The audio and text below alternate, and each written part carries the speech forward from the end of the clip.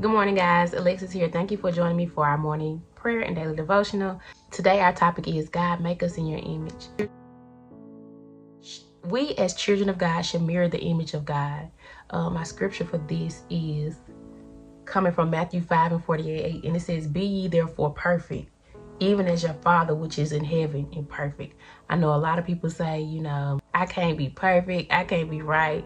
But of course you can't, but through the strength of Jesus, through his righteousness, we are to strive to be like the image of God. He made us in his image. So we should strive to be like him. We are we should strive to walk like him, to talk like him. We should strive to live uprightly. The world will make it seem like it's okay to do what culture does. Okay to just, you know, dibble and dabble and come back because God's grace is sufficient. But we should consciously live a life that is surrendered and submitted to God so that when the time comes, when the temptation comes, when the pressure comes, that we will stand grounded in his truth. Let us not be wavered when different world views come around, different trends, different ideas that counteract the word of God. We operate from a different set of rules. Somebody offend you, you might want to tussle, but God's saying turn the other cheek.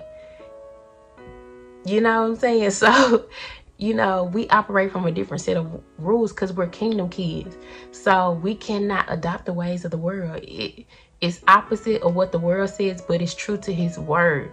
Like we have to be surrendered and submitted to God. There is a way that seems right but leads to destruction. So let our life, let our walk, let our talk, let our actions mirror God because the, our reward is in heaven. We're just passing through. This is not our home. Contrary to popular belief, don't get caught up in the daily life of life. This is not our home.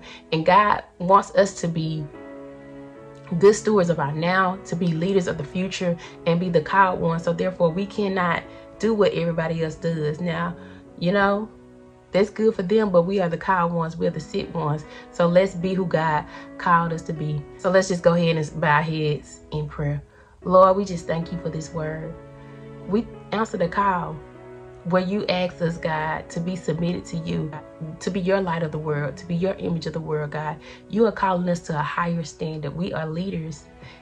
So therefore, we cannot behave as the world does. We cannot do what they do. We operate from a different set of rules. So God, mold us and shape us to be who you have called us to be, Lord. Although it may seem like Lord, this is not right. It might be a, a injustice that we're experiencing right now. But God, you are the victor of every battle. Anybody that rises against us, anybody that troubles us, when they come against they, your child, they come against the kingdom, they come against you, and you hit harder than we ever could, God. So let us be called to a higher standard. Let's not fight fire with fire, but fight fire with the, with the word. Let us not fight battles with our mouth, but fight battles in prayer. Let us not argue and complain and go back and forth with every person that has a different opinion than us. Let us be grounded in our word first. Let, it be, let us be grounded in you first. So when other things come to try to straight us away from you, that we be grounded in your truth, Lord. You are the powder God. We are the clay, mold us, shape us, form us into what you have called us to be, God. We won't be like the world. We're going to be a contradiction to the world. But you saw it so fit that we be the example and sooner or later, those around us will rise to where you have called us to be.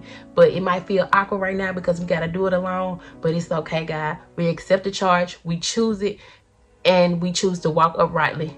In your son, Jesus' name, we pray. Amen. Amen. Amen.